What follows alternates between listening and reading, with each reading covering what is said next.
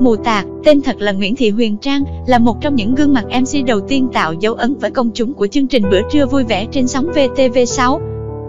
Huyền Trang sinh năm 1993, cô sở hữu phong thái tự tin và phong cách ăn mặc gợi cảm, biến hóa đầy linh hoạt để phù hợp theo từng ngữ cảnh. Từng bị phạt gần một tháng không được lên sóng VTV, giờ đây Trang đầy bản lĩnh và tự tin trên con đường sự nghiệp của một biên tập viên, diễn viên.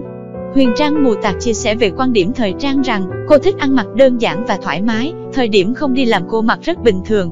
Huyền Trang cũng không chú trọng đến hàng hiệu xa xỉ hay váy áo đắt tiền, cô diện những set đồ mà bản thân cảm thấy tự tin cũng như phù hợp với hoàn cảnh là được.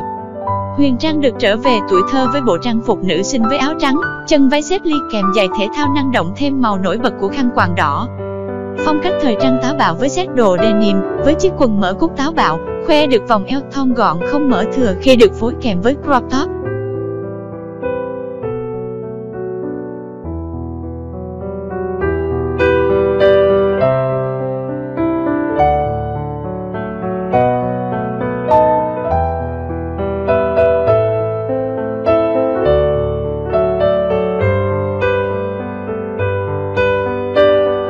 Chỉ là người dẫn chương trình nổi tiếng, cô nàng còn sở hữu nhiều tài lẻ khác như ca hát, diễn xuất.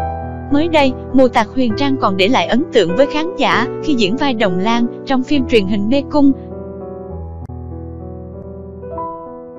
Cô nàng MCVTV rất thích đi giày sneaker để tiện lợi trong việc di chuyển, đồng thời giúp cô phối được với rất nhiều kiểu trang phục khác nhau.